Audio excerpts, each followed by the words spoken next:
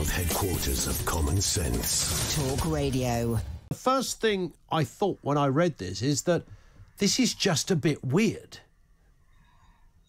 Uh, I- I mean, I think it's it's weird in, in a number of respects. I mean, look, if you spoke to any, for example, sitting British MP, you could ask them how well Facebook is doing protecting them from death threats and abuse, because they they you know, there'd be a hollow laugh in response.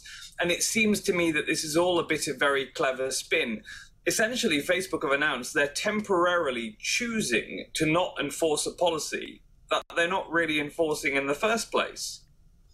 So, so the which organisations like your own have encouraged them to do so, uh, but they they would say they're doing better than they ever did. But the, even if they were doing better, does it, regardless of what we think of what's happening with Russia and Ukraine, isn't it a bit odd when a, a big company like Facebook give the green light to call for the death of Russian invaders? Well, it, it does beg the question. If Meta are temporarily, Facebook are temporarily choosing not to protect Putin, which murderous dictators are they protecting? Yeah. Is it the Ayatollah? Is it Xi Jinping for his actions with the Uyghurs? Is it the, the, the Burmese government for their actions against the Rohingyas? What is Mr. Clegg and Mr. Zuckerberg's private test of which bloodthirsty autocrats they deem worthy of protecting? What is the threshold? And why on earth have we handed over so much power hmm. to one man in California. The enormous, and, you know, the, the, the sort of underlying, and I, I am being mildly facetious, but the, the, the thought that we've handed over such power Sure. to, to one man is extraordinary. And I think, y- y- you know, if nothing else, um, th- th- this, th- this might feel like a, a short term boost for their political fortunes. But I, I actually think it opens up questions they really don't want to answer. It's very Nick Clegg, isn't it? He's just been promoted to Facebook's president of global affairs, one of the top, you know, two or three people there now. Yep. It's all very sly. It's all smoke and mirrors. It's all very clever spin.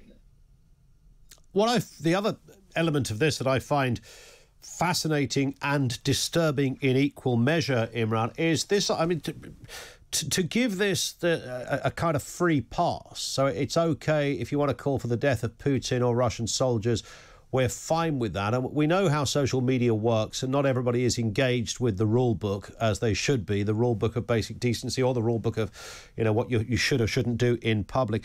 You can almost see this translating elsewhere, right? Where somebody on the street might be out for a, a pint. Uh, in, their local town in this country and think that it's fair game to give somebody a smack because they happen to be Russian. Because, well, you know, after all, Facebook seemed quite relaxed about it.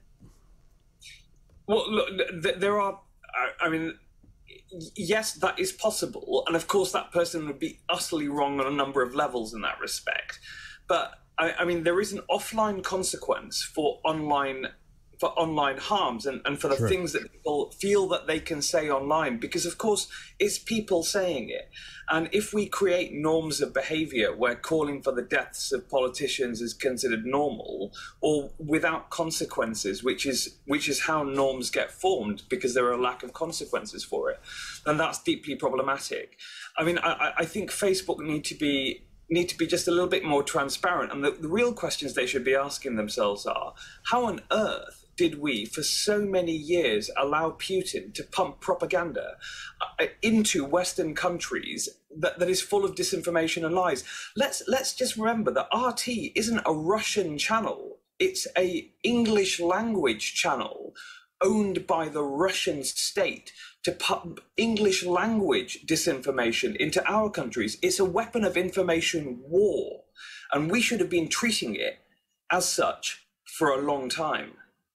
It's a fair point. Imran, thank you. Always a pleasure to get your take on these things. Imran Ahmed, Chief Executive of the Centre for Countering Digital Hate. I don't even know where to begin. Good talk. Hot talk. Bold talk. Talk radio. Listen on your smart speaker. Watch it live on your smart TV. The world headquarters of common sense. Talk Radio.